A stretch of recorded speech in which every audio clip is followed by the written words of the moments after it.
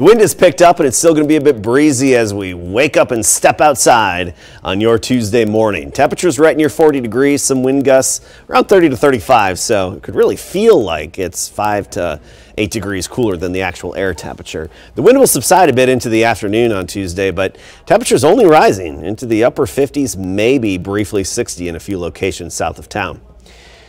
A lot of sunshine, just some high thin clouds uh, streaming overhead throughout the day. Wednesday, Thursday, Friday mornings, we're down in the upper 30s for morning temperatures.